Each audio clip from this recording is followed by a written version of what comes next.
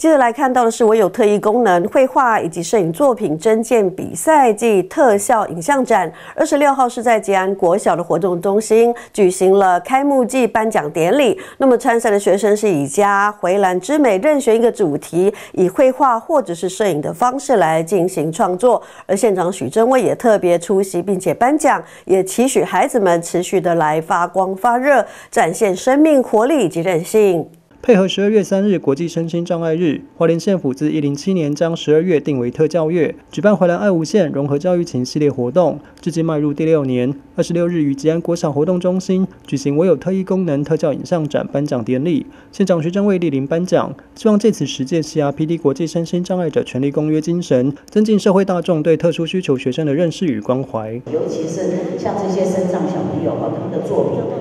真的让人家非常的感动哎。我这边就是有一点小小的建议啦，好像每次办办这个比赛，好像都少了水墨跟书法吧，不知道为什么。对，我觉得也蛮可惜的。为了让我们的老师的能量能够充足，还有在学校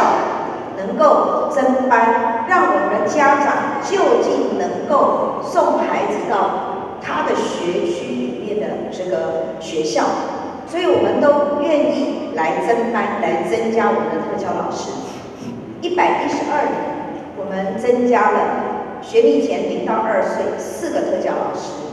以及托育的部分，我们的这个三岁到五岁到六岁幼儿园的部分四个特教老师，